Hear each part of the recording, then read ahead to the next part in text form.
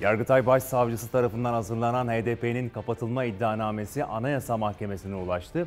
Peki bundan sonra bu süreç nasıl işleyecek? İşte HDP'nin kapatılmasıyla ilgili yargısal süreç.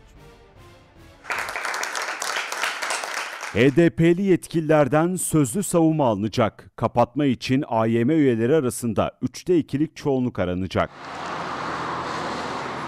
Yargıtay Cumhuriyet Başsavcısı Bekir Şahin HDP'nin kapatılması ile ilgili 609 sayfalık iddianameyi hazırlayıp Anayasa Mahkemesi'ne gönderdi. Ceza davası usulüne göre yürütülecek süreçte artık gözler Anayasa Mahkemesi'nde olacak.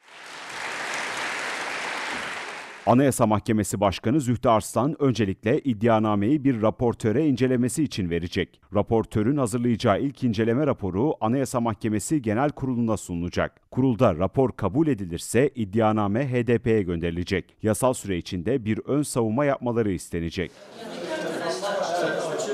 Ön savunmadan sonra sıra iddianameyi yazan Yargıtay Başsavcı Şahin'e gelecek. Şahin esas hakkındaki görüşünü sunacak. Bu görüş HDP'ye gönderilecek. Bu arada Şahin bir de Anayasa Mahkemesi Genel Kurulu'nda sözlü açıklama yapacak.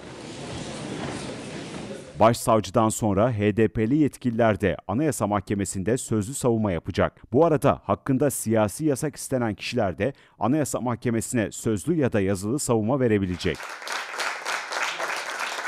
Sürecin ardından raportör yine tüm bilgi ve belgeleri bir araya getirip esas hakkındaki raporunu yazacak. Raporla birlikte Anayasa Mahkemesi Başkanı Zühtü Arslan genel kurulu toplayacak. 15 Yargıtay üyesi oylamayla HDP'nin kapatılma davasını karara bağlayacak.